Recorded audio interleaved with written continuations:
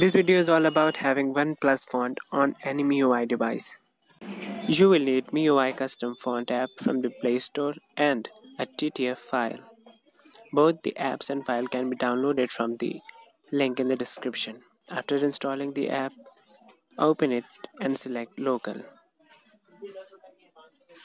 Now tap on the green folder icon on the bottom right and navigate to the folder where your file is stored and select the font file and tap OK. Now set it as your system font. Choose any one method.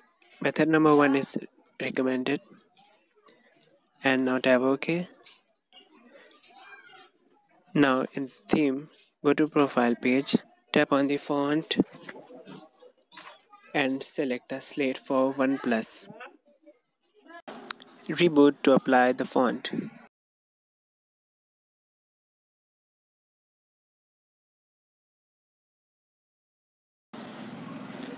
Now your phone will boot up with a new font.